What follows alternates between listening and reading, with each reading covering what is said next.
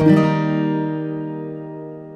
各位观众朋友好哦，那么在接下来这几天呢，预计在礼拜五、礼拜六会是天气比较稳定的两天，随着大环境的风场转成偏东风到东南风，各地天气变得比较稳定了。不过呢，阵风会变得比较大一些，提醒大家要多加留意风势上面的变化。那么呢，在下雨的部分啊，是中午过后呢，以山区的午后阵雨为主，平地一整天呢都会是比较稳定、晴朗的好天气。不过这样子的天气呢，到底礼拜天会有所变化，因为目前呢，在台湾南边的海面上面有个广大的低压带正在发展当中，不排除呢接下来有一些扰动或者是台风发展起来的机会。虽然说不会直接影响台湾，但是有机会带来比较多的水汽到台湾的上空。从礼拜天开始，各地的降雨就有机会逐渐的增加了。好，我们先来看一下今天的小叮咛哦，要提醒种植番茄的农友们，最近的气温跟日晒呢都是比较强一点点的，所以也要提醒大家。在这个山区呢，种植番茄的时候，可以在植株上面铺设透明的塑胶布，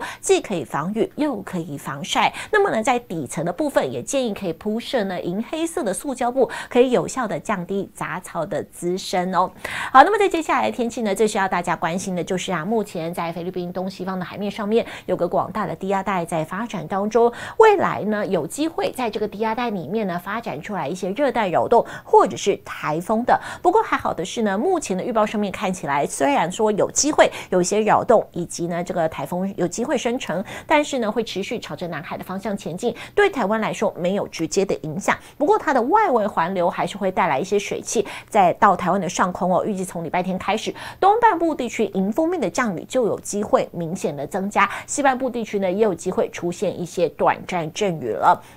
那么进一步来看一下，预计呢在礼拜五、礼拜六，主要都是以中午过后靠近山区的局部午后降雨为主。那么从礼拜天开始，可以看到东半边来的水汽呢会明显的增加，那么西半部地区呢也有机会出现比较明显的午后降雨哦。这样子的天气情况呢会从礼拜天开始，一直到下礼拜三左右。所以从接下来的降雨分布图就可以看到，礼拜五、礼拜六相对来说都是比较稳定的好天气，只有在山区中午过后会有一些局部的午后雷阵雨。那么在礼拜天到下个礼拜三之后呢，就要留意东边来的水汽会明显的增加。预计啊，东半部地区有机会出现呢局部短时间比较大的雨势。那么西半部地区呢，也有机会出现比较明显的午后降雨了。好，那么接下来关系一下台湾近海的风力跟浪况。预计呢，在礼拜五，台湾沿海地区平均风是来到四到六级，阵风呢来到六到。八级六到七级左右哦，那么呢，这个浪况是属于小浪到中浪的等级。那么在离岛地区一样的平均风是来到了四到五级左右，阵风呢六到八级，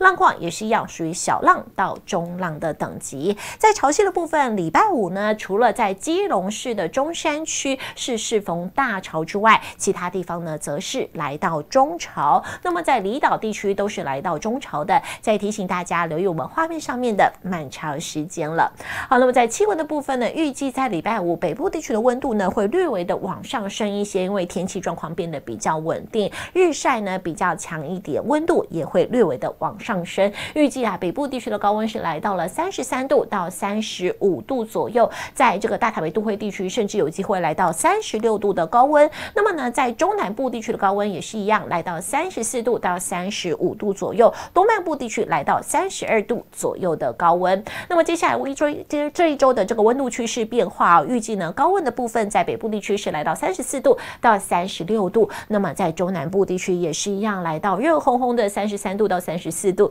全台各地都还是相当的炎热，也提醒大家从事农事活动一定要记得多补充水分，小心中暑。以上就是今天的播报，我们下次见。